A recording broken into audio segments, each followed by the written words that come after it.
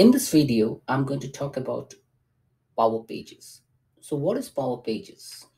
Microsoft Power Pages is a secure enterprise-grade low-code software as a service platform for creating, hosting, and administering modern external-facing business website.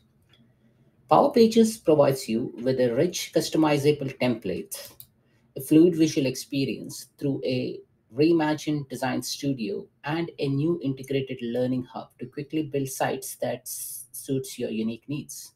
Uh, with Power Pages, you can build sites by using the same shared business data stored in Dataverse uh, that are used for building apps, workflows, uh, intelligent virtual agents, chatbots, uh, reports, and analytics with other Microsoft Power Platform components.